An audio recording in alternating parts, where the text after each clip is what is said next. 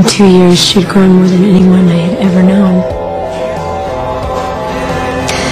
Brooke Davis is going to change the world someday, and I'm not sure she even knows it.